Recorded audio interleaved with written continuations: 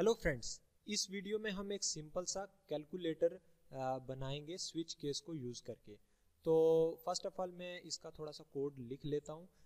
Later on में इसका थोड़ा सा एडवांस कंसेप्ट भी आपको बताऊँगा कि कैसे हम डू वाइल लूप लगा करके इसको ज़्यादा इंटरेक्टिव कर सकते हैं।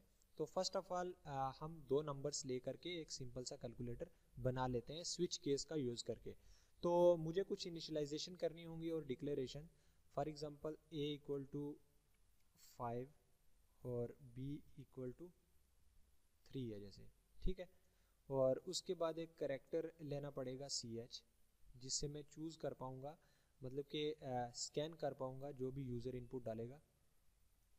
अब मुझे क्या करना है कि आ, सबसे पहले कुछ ऑप्शंस जो यूज़र को दिखेंगे वो शो करने हैं। तो प्रिंट एफ़ यहाँ लिखना है उसके बाद यहाँ बंदे को ऑप्शंस चूज़ करने के लिए सबसे पहले ऐड और फिर बैक स्लैश एन और इसके पीछे लिख देना है वन वन ऑप्शन क्या होगा? फ़र्स्ट ऑप्शन ऐड और सेकंड ऑप्शन क्या रहेगा?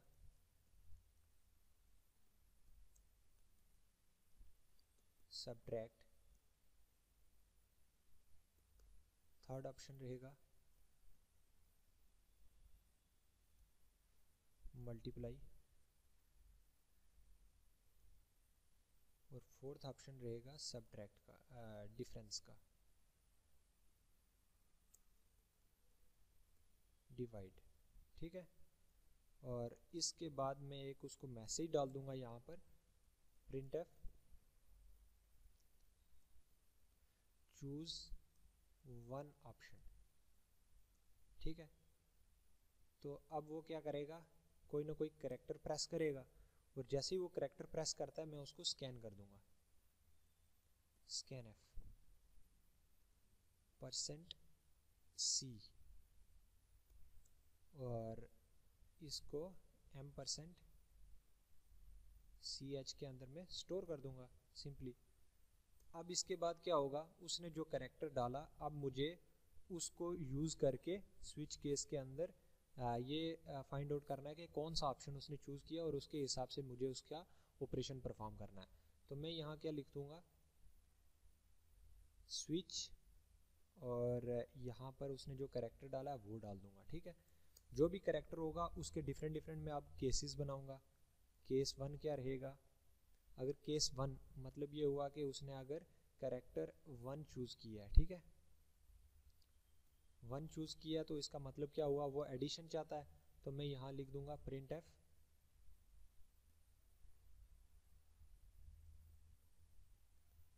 addition is addition जो है वो इक्वल टू परसेंट डी कर दूँगा। और यहाँ पर उसको आउटपुट में क्या दे दूँगा? कि A plus B A plus B को ऐड करके उसको यहाँ दिखा दूँगा और उसके बाद ब्रेक नाम की एक स्टेटमेंट लिखूँगा ताकि स्विच केस से बाहर निकल जाए। मतलब स्विच जो इसका ये एरिया ना, इससे बाहर निकल जाऊँगा अगर मैंने ब्रेक लिखा होगा। ठीक है? तो क्योंकि आप नेक्स्ट स्टेटमेंट में एग्जीक्यूट नहीं करना चाहता। अगर फॉर एग्जांपल उसने वन की जगह टू डाला मतलब कि वन नहीं डाला, बल्कि टू डाला, या फिर थ्री फोर ठीक है? इनमें से कोई भी डाल देता है। अगर वन नहीं डाला तो टू डालेगा, टू नहीं डाला तो थ्री डालेगा, थ्री नहीं डाला तो फोर डालेगा। अगर फोर भी नहीं डाला तो इसका मतलब कुछ और डाला है तो वो हम चेक करते हैं। एडिशन फिर सब्ट्रैक्शन फिर डिवीज़न ओ सॉरी मल्टीप्लिकेशन फिर उसके बाद क्या आ गया? डिवीज़न डिवीज़न में क्या रहेगा? A divided by B multiplication में ए मल्टीप्लाई बाई बी और सब्ट्रैक्शन में ए माइनस बी ठीक है? और अगर फॉर एग्जांपल उसने इनमें से एक भी नहीं यूज़ की एक भी नहीं की प्रेस की तो हम आ, कुछ और भी की तो डिफ़ॉल्ट होगा। तो डिफ़ॉल्ट के केस में हमें क्या करना पड़ेगा? अपना एक अलग से मैसेज देना पड़ेगा कि इनवैलिड इनपुट ठीक है? इनवैलिड इनपुट करके हम डाल देंगे। और उसके बाद डेफिनेटली वो बाहर चला जाएगा। अब हम क्या करते हैं कि इसके आउटपुट को चेक कर लेते हैं, ठीक है? हमारा कैलकुलेटर तो तैयार है। अब बोल रहा है, कोई एक ऑप्शन करो, मैं वन देता हूँ। तो बोल रहा है एडिशन इक्वल टू एट देख रहे हो ना आप? अब आपको पता होना चाहिए कि ए और बी की वैल्यू क्या थी? फाइव और three five plus three eight होता है। अब दोबारा से रन करके हम चेक कर लेते हैं। मान लो मैं टू डालता हूँ। तो क्या हुआ? सब्ट्रैक्शन इक्वल टू टू मतलब फाइव में से थ्री माइनस किए तो टू आएगा। अब एक बार दोबारा रन करके चेक कर लेते हैं। थ्री प्रेस किया मैंने। तो क्या आंसर आया? Fifteen means means five into three fifteen और अगर दोबारा रन किया और फोर प्रेस किया तो क्या होगा? Divide division equal to one five को थ्री से डिवाइड करेंगे तो वन आंसर आएगा क्वेश्चन और अगर फॉर एग्जांपल मैं सेवन डाल देता हूँ, तब क्या होगा? तो बोल रहा है इनवैलिड इनपुट तो इसका मतलब ये हुआ कि इनवैलिड इनपुट है।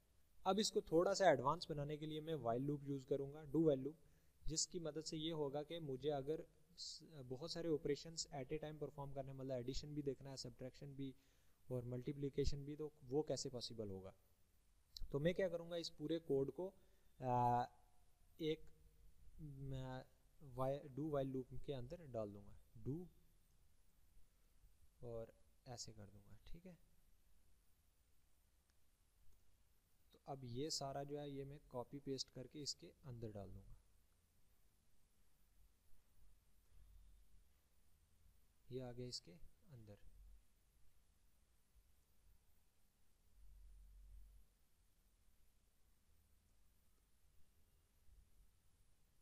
ठीक है?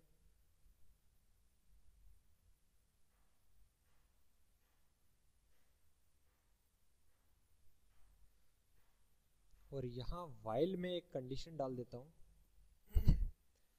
जिस कंडीशन के अंदर क्या होगा, जैसे जो भी करेक्टर वो चूज़ कर रहा है ना यहाँ पर, ठीक है?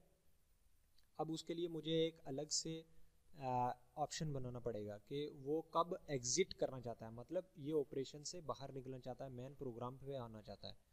तो हम फॉर एग्जांपल यहाँ रख लेते हैं फाइव एग्जिट के लिए, ठीक है? और दूसरा नंबर ये कि दोबारा आएगा तो यहाँ बैक स्लैश एन होगा, तभी वो नेक्स्ट लाइन में आएगा, ठीक है? तो अब उसके बाद क्या होगा कि यहाँ पर फिफ्थ नंबर पे भी हमें एक मैसेज डिस्प्ले करना पड़ेगा कि फिफ्थ ऑप्शन जब चूज़ करे तो क्या होगा? तो हमें सिर्फ़ एक मैसेज देना है थैंक्स का। बाकी कुछ नहीं करना है, ठीक है? थैंक्स करके ब्रेक कर देना है, ठीक है? और उसके बाद कंडीशन में हम ये डालेंगे कि जब तक C H not equal to five जब तक C H not equal to five है, तब तक ये चलता रहेगा। जैसे ही C H equal to five हुआ तो इसका मतलब यूज़र चाह रहा है एग्ज़िट होने में।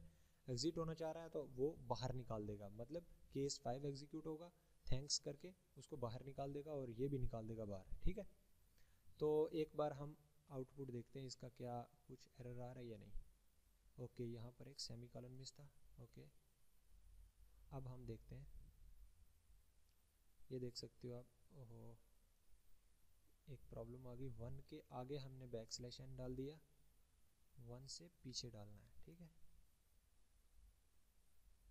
तो अब देखते हैं हम। ओके फॉर एग्ज़ाम्पल मैंने डाला वन तो एडिशन होना चाहिए। तो ये एडिशन परफॉर्म हो गया। Addition addition equal to eight अब ये दोबारा चूज़ वन ऑप्शन और इनवैलिड ऑप्शन इनपुट खुद उसने डाल दिया। ऐसा क्यों? और फिर ये तीसरी बार ऑप्शन शो हो गए। इसकी एक वजह है। वजह यह है कि जैसे हम इंटर की प्रेस करते हैं ना तो नेक्स्ट टाइम जब लूप चलता है तो ये करेक्टर में स्कैन हो जाता है वही इंटर की, ठीक है? तो हम क्या कर सकते हैं यहाँ? एक होता है एफ़ फ्लश तो एफ़ फ्लैश नाम का फ़ंक्शन जो होता है, वो उसको साफ़ कर देता है। तो S T D S T D I N होता है। पहले इसको चेक कर लेते हैं, अगर ये चल गया तो अच्छा नहीं तो कोई और तरीका हम ढूंढते हैं। तो जैसे वन डाला तो यस ये तो चल गया हमारा। Choose one option one addition equal to eight और दोबारा से लिस्टिंग आ गई ऑप्शंस की कि आप, अब आप नया ऑप्शन क्या चूज़ करना चाहते हैं। मैं टू यूज़ करना चाहता हूँ तो मुझे सब्ट्रैक्शन भी आ गई। थ्री चूज़ किया मल्टीप्लिकेशन भी आ गई। फोर चूज़ किया तो उसका डिवीज़न भी आ गया। अब मान लो सिक्स चूज़ करता हूँ तो ये बोल रहा है कि इनवैलिड ऑप्शन और अगर फाइव चूज़ करता हूँ तो मैं यहाँ से एग्ज़िट होना चाहिए था ना? तो क्यों नहीं हुआ? ओके फाइव में एग्ज़िट नहीं हो रहा है।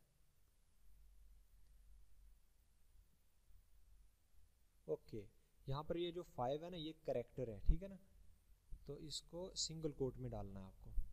फाइव को सिंगल कोट में डाल देना है। तो अब उसके बाद अगर आप, अब देखोगे तो जैसे मैंने वन डाला ये आ गया। अब फाइव डालता हूँ तो मैं एग्ज़िट कर जाऊँगा। ये देखो थैंक्स आ गया और अब ये प्रोग्राम कंप्लीट हो गया। अब दोबारा वो लिस्टिंग वाला नहीं आया।